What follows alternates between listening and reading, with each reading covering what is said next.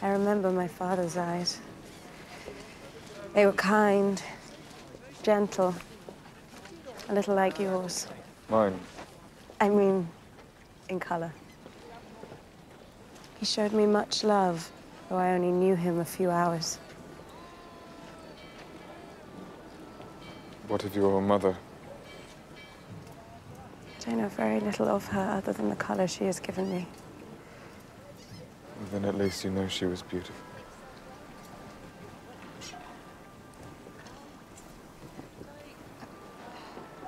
I am to marry shortly.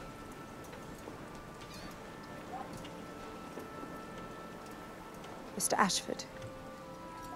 Oh, He is amiable and of good family.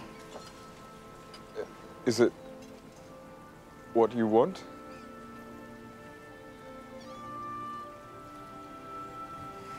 The alternative is to replace Lady Mary in her responsibilities at Kenwood. But she's a spinster. Papa did not trust I could achieve a match that would raise my rank or even equal it.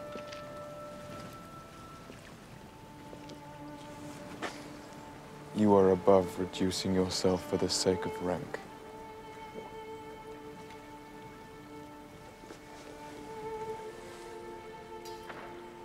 I pray he would marry you without a penny to your name. For that is a man who will truly treasure you.